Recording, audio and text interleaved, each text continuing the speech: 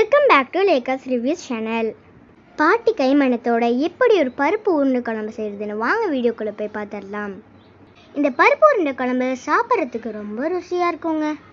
வாங்க வீடியோக்குள்ளே போய் பார்த்துடலாம் அதுக்கு முன்னாடி சப்ஸ்கிரைப் பண்ணாதவங்க சப்ஸ்கிரைப் பண்ணுங்க.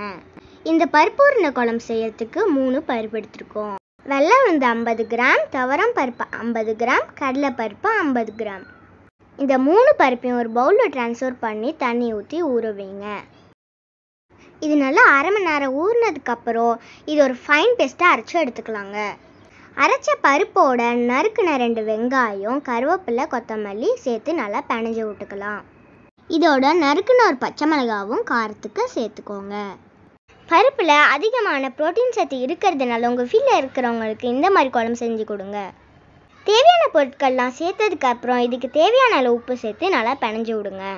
பருப்பு நோய் எதிர்ப்பு சக்தியை தூண்டிவிடும். தோல் மற்றும் இதயத்தை பாதுகாக்கும்.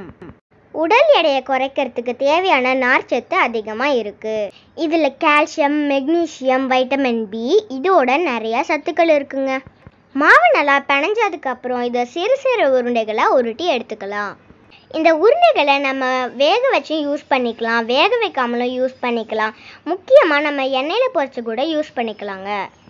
இப்போ வாங்க நம்ம எப்படி குழம்பு செய்யுதுன்னு பார்த்துடலாம் அடுப்பில் வானலை வச்சு வானல் சூடானது எண்ணெயை ஊற்றுங்க எண்ணெய் நல்லா சூடானதும் வெந்தயத்தை போடுங்க. வெந்தயம் நல்லா பொரிஞ்சு வந்ததும் சீரகத்தை போடுங்க. சீரகம் நல்லா பொரிஞ்சு வந்ததும் நறுக்குன ரெண்டு வெங்காயம் கருவேப்பிலையை போட்டு நல்லா வதக்குங்க. வெங்காயம் நல்லா பொன்னிறமாக வெந்து வர வரைக்கும் நல்லா கிண்டி விடுங்க. வெங்காயம் நல்லா பொன்னிறமாக வதங்கி வந்ததும் அரை மூடி தேங்காய் நாலு தக்காளி நறுக்குனதை ஃபைன் பேஸ்ட்டாக அரைச்சி வச்சுருக்கோம். அதை சேர்த்து நல்லா வதக்கி விட்டுக்கலாம். நார்மலாக நம்ம தக்காளியை சேர்த்து வதக்கிறதோட இந்த மாதிரி அரைச்சி குழம்புல சேர்த்திங்கன்னா குழம்பு ரொம்ப திக்காக இருக்குங்க. இந்த விழுது வெங்காயத்தோடையும் எண்ணெயோடையும் ஒன்றோட ஒன்று சேர்கிற அளவுக்கு நல்லா வதக்கி விடுங்க. விழுதோட பச்சை வாசனை போகிற வரைக்கும் நல்லா கிண்டி விடுங்க. இந்த விழுது நல்லா எண்ணெயோட வெந்து வந்ததும் ரெண்டு டேபிள் ஸ்பூன் வீட்டு குழம்பு மிளகாத்தூள் சேர்த்து நல்லா வதக்கி விட்டுக்கலாம்.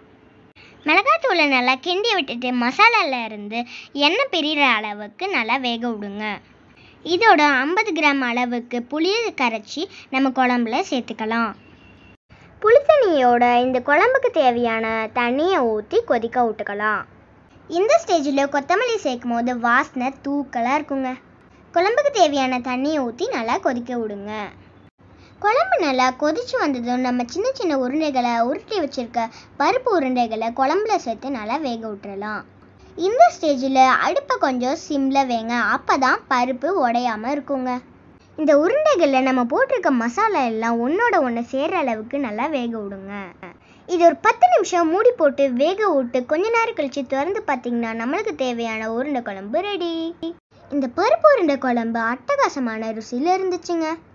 இது உங்கள் வீட்டில் ட்ரை பண்ணி பாருங்கள் இந்த இந்த வீடியோ பிடிச்சிருந்துச்சுன்னா லைக் பண்ணுங்கள் ஷேர் பண்ணுங்கள் சப்ரைஸ் பண்ணுங்க. கிளிக் பண்ணுங்க. பாய்